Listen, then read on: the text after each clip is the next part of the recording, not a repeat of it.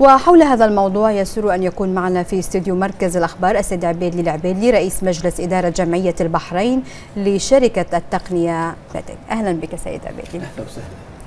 طبعا بداية نتحدث عن أهمية مثل انعقاد مثل هذا المؤتمر وهذا المعرض الدولي الذي يعنى بموضوع يعني نعتبره اليوم في غاية الأهمية. ما مدى أهمية استضافة مملكة البحرين لهذا المؤتمر؟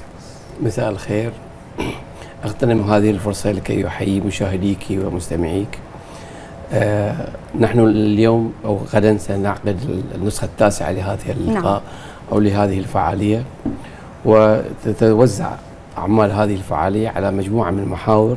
جميعها تصب في إطار واحد هو إطار آه تسخير التطور الذي تشهده تقنية الاتصالات والمعلومات لما في خدمة تطور الاقتصاد البحريني وتعزيز مكانته على المستوى الإقليمي والدولي.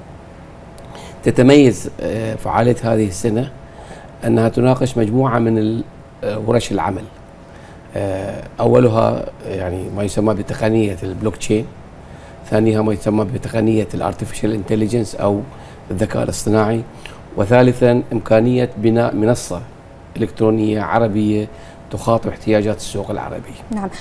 طبعا اليوم هذا المؤتمر أو هذا المعرض يحمل عنوان التكيف المبتكر للتحول الرقمي، ماذا يعني التحول الرقمي؟ كيف يمكن أن يتم التكيف بين الاقتصاد وبين التحول الرقمي؟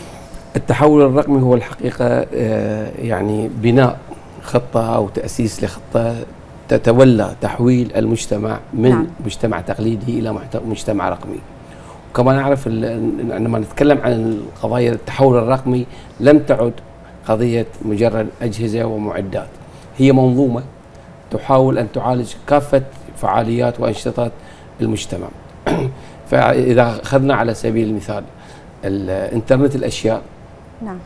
هي مجرد ما تتحدثين عن التحول الرقمي باستخدام تقنية إنترنت الأشياء أنت تتحدثين عن المنازل الذكية عن الشوارع الذكية إدارة المرور الذكية إدارة الصحة الخدمات الصحية الذكية وبالتالي أنت تغيرين ليس فقط من أداء تلك المؤسسات نعم. وإنما من سلوك الأفراد المجتمع أفراد المجتمع الذين يستخدمون هذه الخدمات. نعم سيد عبدلي ما يلفت يعني الانتباه هنا بأن هناك تعاون أيضا في هذا المؤتمر أو هناك مشاركة من القطاعين الخاص والحكومي. كيف يمكن أن يجسد أو ممكن أن يكون هذا المؤتمر أو هذا المعرض مساحة للتقارب بين القطاعين في التحول الرقمي؟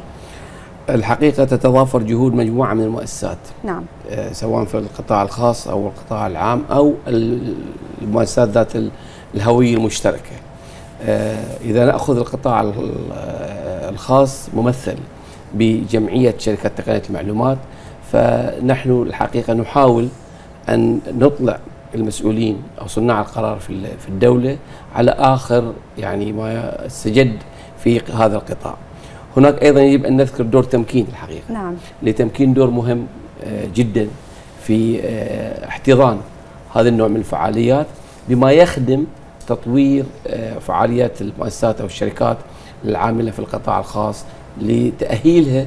حقيقة من خلال دعم تمكين لكي تستطيع أن تكون ذات إمكانية تنافسية سواء مع الشركات المحلية أو الشركات الإقليمية. نعم السيد عبيدلي العبيدلي رئيس مجلس إدارة جمعية البحرين لشركات التقنية بتك شكرا جزيلا لك. على أشكرك.